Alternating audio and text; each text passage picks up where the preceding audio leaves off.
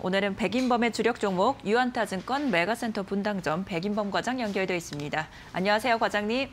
네, 안녕하십니까? 네, 오늘 종목 공개해 주시죠. 네, 뭐 이번 주 같은 경우 현대 미포조선, 또 현대 중공업, 또 SK 스퀘어, 만도 등에 좀 주목을 해보시면 좋을 것 같고요. 어, 오늘 시간에서는 주, 어, 대표 조선 업종 중에 하나죠. 현대 미포조선과 현대 중공업에 대해서 좀 말씀드리고자 합니다. 어, 우선 첫 번째로 현대 미포조선, 어, 지난 거래일 좀 강했던 조선 업종 가운데 어, 그래도 현대 미포조선이 가장 좀 긍정적인 주가 흐름을 좀 보여주고 있는데 어, 사실상 올해까지는 이 조선 업종 내에서 좀 가장 탄력이 좋을 종목이다라고 생각하시면 좋을 것 같습니다. 조선업황 회복 시, 회복 시 가장 민감하게 좀 반영하는 종목으로 좀 인식을 하시면 좋을 것 같은데 어, 현대 미포조선, 이 현대 중공업 그룹의 그러니까 지금은 한국조선해양그룹의 유일한 중형 선박 건조 기업으로서의 메리트가 좀 있다라는 점 참고하시면 좋겠습니다.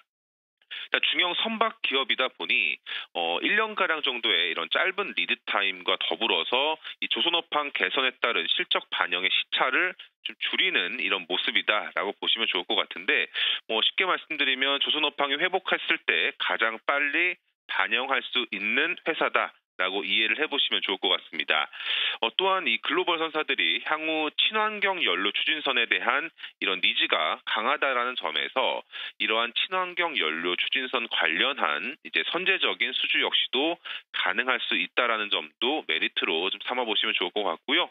어, 일단 조선업종 내에서 단연 실적 개선세가 뚜렷이 뚜렷이 좀 나타나는 기업이다라는 점에서 독보적인 실적 개선을 통해 업종 내 좀 최선호주로 많이 거론 거론이 되고 있다라는 점에서 관심 있게 지켜 보자는 의견 드리겠습니다.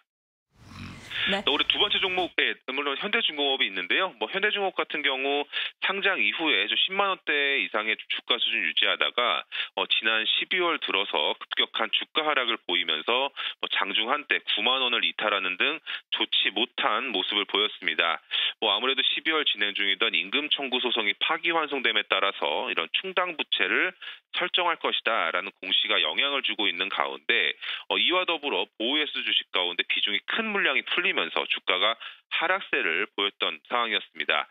우선 뭐 수급 측면에서 이 오버행 이슈는 지난 12월에 대부분 해소되었다라는 의견이 줄을 이루는 만큼 이 오버행 관련 이슈는 일단락 났다라고 좀 이해를 해보시면 좋을 것 같고요.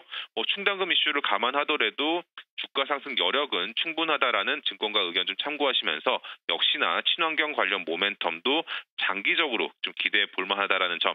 또 한국 조선해양그룹 차원의 해상 그린 수소 인프라 시장을 개척을 했을 때 현대중공업이 이 해상 풍력 인프라라든가 그린 수소 생산 플랜트 등의 역할을 맡을 것으로 예측이 된다라는 점에서 관심 있게 지켜볼 만한 종목이다라고 판단하시고 보시면 좋겠다 말씀드리겠습니다. 네, 오늘 말씀도 감사합니다. 네, 감사합니다.